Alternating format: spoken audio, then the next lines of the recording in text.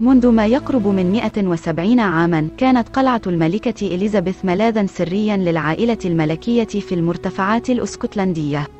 قلعة الملكة إليزابيث هي قلعة بالمورال الواقعة في أجمل منطقة ريفية في مرتفعات أسكتلندا. في عام 1842 وقعت الملكة فيكتوريا وزوجها الأمير ألبرت في حب أسكتلندا أثناء قضائهما العطلة الصيفية السنوية هناك. كانت فيكتوريا مغرمة برومانسية أسكتلندا التي أحبتها وكذلك فعل الأمير ألبرت فقد ذكرته بألمانيا ومسقط رأسه في جبال بافاريا العظيمة التي كانت بالطبع مليئة بالقلاع الرومانسية. ولذلك قررت فيكتوريا وألبرت الاستثمار في قلعة إسكتلندية خاصة بهما فاشتريا تلك القلعة دون أن يرياها وكانت اللوحة المرسومة لها كافية لجعلهما يدفعان ثلاثين ألف جنيه استرليني أي حوالي أربعة ملايين جنيه استرليني لشرائها اليوم. قالت الملكة فيكتوريا حينها بالمورال مكان مثالي للهروب من أحزان العالم. في ذلك الوقت كانت الحروب مشتعلة عبر أوروبا ما عدا أسكتلندا ولذا وجدوا المكان المثالي لهما هناك ولكن كانت هناك مشكلة صغيرة بالنسبة إلى القلعة نفسها. فعندما ذهبوا للزيارة في عام 1848 قالت فيكتوريا حسنا إنه جميل ولكنه صغير بعض الشيء.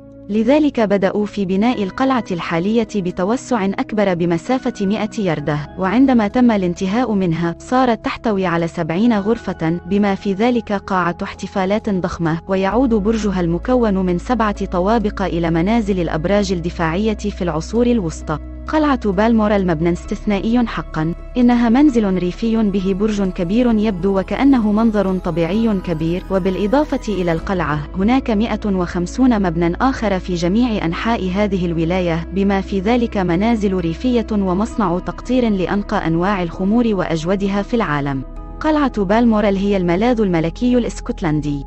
ليست مجرد منزل بل هي عبارة عن ملكية عقارية تبلغ مساحتها خمسين ألف فدان أي ما يقرب من ضعف مساحة مدينة مانشستر الإنجليزية كما تحوي مئات الأفدنة الخضراء بحيث يمكنك المشي لمدة أربع أو خمس ساعات دون أن تصادف أحدا على الإطلاق. اشترت الملكة فيكتوريا والأمير ألبرت قلعة بالمورال لتكون سكنهما الرومانسي بعيدا عن الواجب الملكي والمراسم الاحتفالية وصخب العاصمة ومشاكل المملكة والعالم بحيث يمكنهما الانغماس في هواياتهما.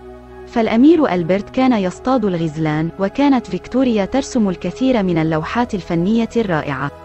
لكن كل ذلك قد انتهى في عام 1861 بموت ألبرت المبكر وبموته تحطمت الملكة فيكتوريا معنويا وانطوت على نفسها بعيدا عن العالم في قلعة بالمورال حيث وجدت هناك عزاءها في زوجها الراحل.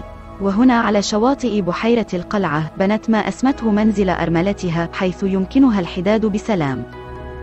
وفي عام 1953 توجت الملكة إليزابيث على عرش المملكة المتحدة وحافظت على قلعة بالمورال التي ورثتها عن جدتها الكبرى الملكة فيكتوريا حتى وفاتها في سبتمبر أيلول من هذا العام.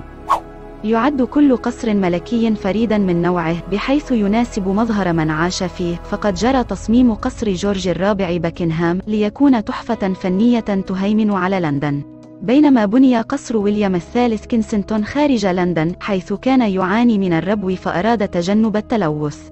ولكن لا يوجد أي قصر يرتبط ارتباطا وثيقا بملك معين مثل قلعة بالمورال التي تتميز بأنها ترتبط بالملكة فيكتوريا وقصة حبها غير المروية مع زوجها الراحل الأمير ألبرت.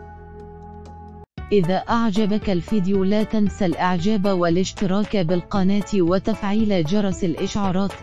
ليصلك كل جديد.